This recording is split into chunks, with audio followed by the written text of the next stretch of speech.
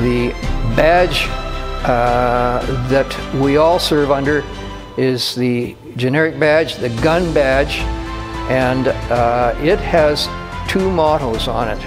The first one in Latin is ubique, which means everywhere. Gunners have served everywhere and in every, uh, every battle, every action, going back for hundreds of years. And we don't have battle honors and we don't have regimental flags as the infantry do. Uh, our cap badge is it and it says everything. That is our battle honor uh, everywhere. And underneath that is further Latin, uh, uh which uh, uh, it translated says, whither fame and glory lead us.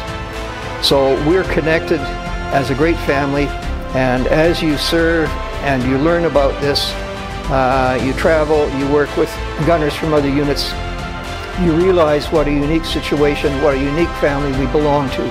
And uh, it creates a, a, tremendous amount of uh, pride, and uh, from it comes the expression, once a gunner, always a gunner.